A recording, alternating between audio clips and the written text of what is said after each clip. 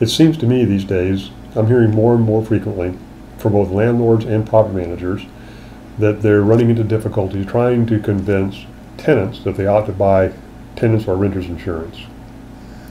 I think I understand the dilemma. It happens that the renter's insurance becomes a secondary objective, uh, primary objective being getting the lease signed and getting a qualified tenant into the property paying rent.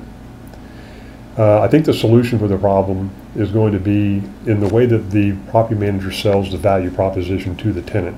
And I think that means just put the hat on of an insurance salesman and sell it just like you're trying to sell an insurance policy. And I think there are four principal values that we can sell. The first one being, and I think commonly understood by most tenants, maybe, maybe not fully appreciated, but commonly understood, I think, is that their personal property is not protected in the event that there's a flood or a fire or some something that causes the property to be damaged significantly, wind damage. Um, and that's certainly the case. And they need to fully understand that their personal property is not covered in the landlord's general liability policy. The second one, and probably maybe the more important one, at least here in the state of Georgia, it is because of our statutes, which say that in the event that a property is made uninhabitable due to one of these site types of hazards, that the tenant is still responsible for paying rent. So we, they cannot look to the landlord's insurance policy to cover that that uh, that liability. And they may also be responsible for paying for the temporary lodging as well. If they have insurance, that should be offset. Those off, those costs should be offset.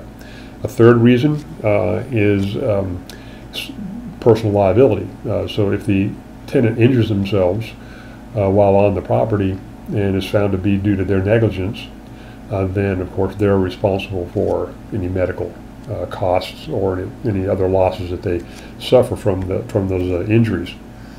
Uh, and this is the kind of thing that tenants just think, well, it won't happen to me. It's always somebody else that those happen to. But um, I, I, mean, I'm, i have a, a case in, in, in, point here in recent times where one of our one of our tenants um, was injured because of a grease fire on the kitchen stove. They had walked away from a uh, from a boiling grease sitting on the stove and came back in the kitchen and they had a had a fire and they got injured trying to put it out.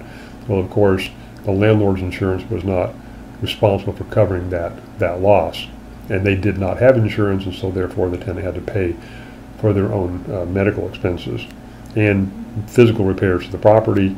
Uh, where they were in dispute with the owner. In this particular case, our landlord was very gracious and did not charge the tenant for the repairs, but it didn't have to be that way.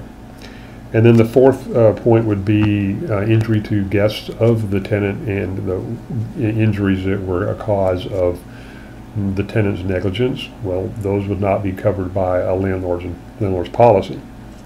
So uh, maybe next time, uh, if you're um, faced with this dilemma, try this approach, see if that works for you. And until then, I wish you a happy landlording.